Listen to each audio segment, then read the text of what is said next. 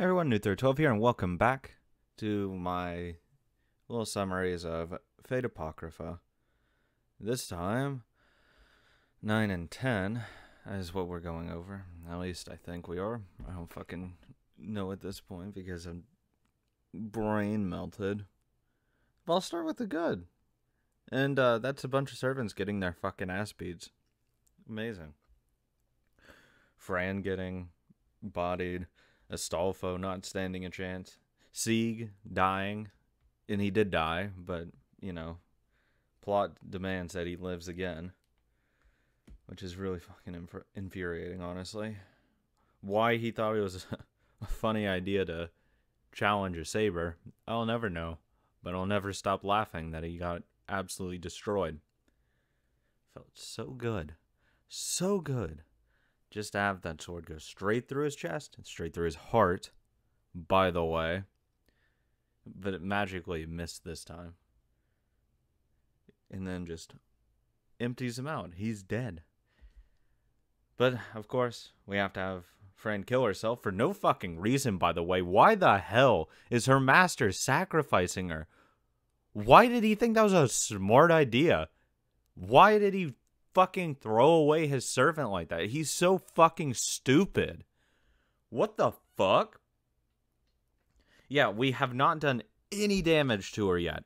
None. We've pushed her back. Let's let's waste this uh, noble phantasm right now. We could just leave. She left her alive for some reason. I don't know why she didn't kill her. She just didn't. She stabbed her in the chest or stomach or whatever. Didn't kill her. You could have just left. You could have told Berserker, hey, get back here. Dematerialize. Come back here. But no. Fucking kill yourself. That'll work. We'll we'll totally get her. We're, we got her. We're gonna we're gonna win. Doesn't win. Even though technically he could have just used a command spell, Mordred's master, made her like dematerialize, teleport to him. Then she can just go back. Fran explodes, and then you do no damage to her. And you just literally waste a servant. Even though you didn't even need to do it because she could just fucking tank the blow anyways. So what's the point of that noble phantasm? You just die. For what? To die. It's so infuriating to see that. Because it's literally just a fucking waste of a servant. When you could just live and fight another day. No. We die here. And he's upset that, you know, oh my god, it didn't work. Yeah, because you're stupid. It's shit like that that's just really infuriating to see, listen to. Because it's. You can just choose not to be stupid at that point. Astolfo, I still don't know why he's so obsessed with protecting this dude. I'll never understand. He's Astolfo's cool. I don't know why he has to be fucking lame and want to die for this thing. Freeing all the homunculus and stuff like that, I, I still don't get the point of that. Like, where are they going to go? How are they going to survive? Are they all going to only last three years? How are they going to get out of the castle? How are you going to take care of them? How are they going to find a home? Like, it just sounds like they're going to have a miserable fucking. Are they all just going to live on that farm? How are they going to sleep? Like it just seems like a really fucking miserable existence for three years, and then you die, instead of just be a test tube and never even realize that you lived in the first place. Which I mean, hey, that wouldn't probably be the worst, honestly. Would you rather suffer for three years and die, or would you rather just never exist at that point? Um, Sieg. Uh, I don't even know at this point. He, it's just literally ass pull after ass pull after ass pull. He dies in the first episode that he's like really introduced, basically. Or second episode, I think, technically. But he gets saved because Servant shoves his heart into him. That survives, and he lives. Whatever. He's not in immense amounts of pain or whatever. Then he gets run through with a sword, dies again, but then lightning shoots through him, and hey, it restarts his heart, even though his heart's destroyed because it got a fucking sword ran through it. But it's okay. She didn't actually hit his heart. She just hit inside of his chest, but completely missed his heart, even though, you know, it's right there where she stabbed. But, you know, it's fine. She she just missed, and you know, lightning will fix it because eh, Frankenstein. Hey, uh, she uh became a thing with lightning, so it works with everyone. It's special lightning and electricity that does it. That's why she can why you can live, and that's why you can then become a servant, because you know special. it's just really fucking infuriating. Like, why can he turn into a servant? Why is this a real thing? How is he not dead? How doesn't he just like explode in whatever happens?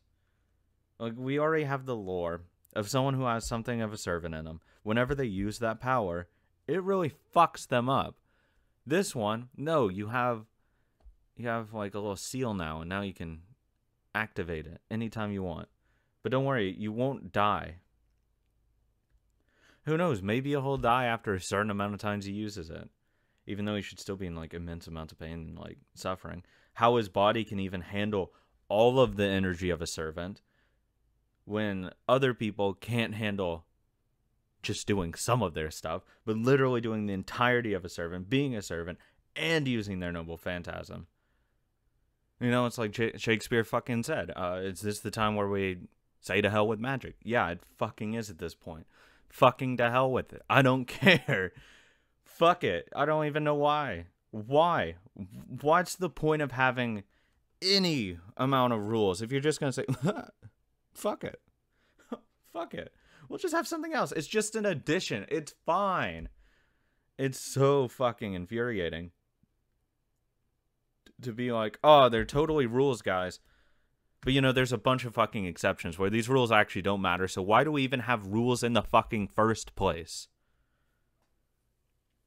Like, why can't we just say, ooh, pretty lights? Because that's all it fucking is. Like, it's just silly at this point. Like, it's crazy. It's fucking mental. Why? Why? Just why? What's the point? What is the need? Why do we have to coddle this one creature? Why why does this have to be special? Why can't we just have it naturally progress or something? Why can't we just have Siegfried still be alive? Why do we have to have this self-insert? Why do we have to literally just say fuck the rules, I don't care anymore? And you know, people justify it with like fucking mental gymnastics the size of a fucking Olympic gymnasium.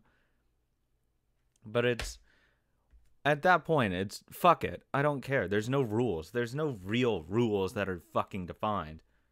So you can basically have anything happen because anything can happen. Why worry about rules when you can just say it happens because it happens? It's just so stupid. It's mind numbing, honestly. And infuriating as well. But there's not really much I can do about it, sadly.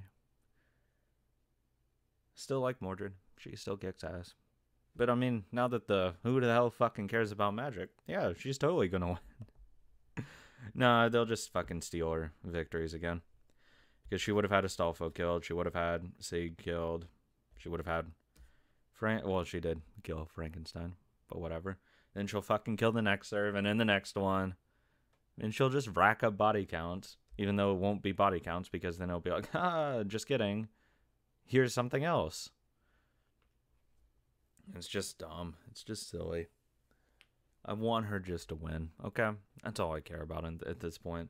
I just want her to kill fucking everyone. All the Black Masters can die. Fuck them. Only Fiore is good. Everyone else is shit. Everyone else. Fiore is the only good one. The only one worth winning. Red Masters, there's literally only one that matters as well. So really, it should just come down to Mordred versus Chiron. And then Mordred wins against Chiron because she's already done that. But it's uh, he was just going easy. It's fine. okay. I mean, it's just it's just silly. But to hell with magic. To hell with the rules. we're just gonna do whatever we fucking feel like it because the plot demands that we do this one thing. I mean, people will try to justify it and be like, no, it's actually fine. This isn't just a huge flagrancy to the rules. It, it, oh, it, it totally makes sense. It makes sense, is what they'll scream. But, uh, no, I'm good. I'm good with just saying this is just them trying to force a story because they want what's his face to be important. And he will die at every single turn if they don't do said thing. I mean, how many servants are going to die so he can live at this point? Because we're already up to two. Can we make it three? Maybe. We'll find out next time. Maybe someone else will die so he can live. because he's going to get his fucking ass kicked anyways, Siegfried. But I guarantee something's going to happen where she can't just fucking kill him because she's just going to be better. He can't be a full servant. If he is a full powered servant, something's wrong here. But again, to hell with magic, who cares? She's still going to beat him because I'll take Mordred versus Siegfried straight up. I don't care. One on one, she's going to win. I don't care about magic rules. I don't care about anything else. It doesn't matter. To hell with it. She'd win because fuck it. Why wouldn't she? I think that's good. I think I am. I think I got it out of my system. Until next time, I guess. Thank you guys so much for watching. Be sure to do all the things I've already told you to do. And uh, have a good one.